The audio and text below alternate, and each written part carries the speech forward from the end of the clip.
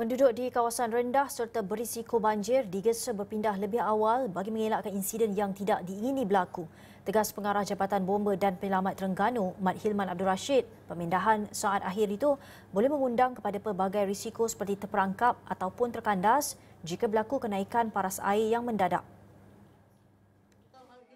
Jelas Muhammad Ilham meskipun telah lali dengan bencana banjir namun tindakan pantas perlu dilakukan bagi menjamin keselamatan diri dan ahli keluarga.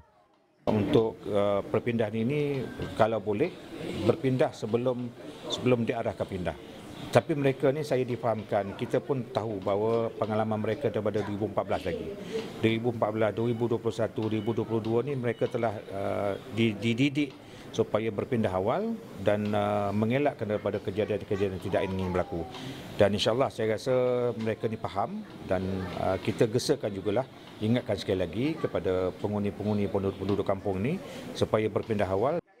Dalam pada itu, Muhammad Ilham mengingatkan pada penduduk agar sentiasa peka dengan keadaan semasa dan patuh dengan arahan pihak berkuasa. Banjir yang melanda daerah Hulu Terengganu pada Rabu menyebabkan 61 mangsa membabitkan 13 keluarga telah terjejas. Seramai 26 mangsa membabitkan 3 keluarga dipindahkan ke Balai Raya Kampung Tapah manakala 35 lagi mangsa ditempatkan di Balai Raya Kampung Kemat.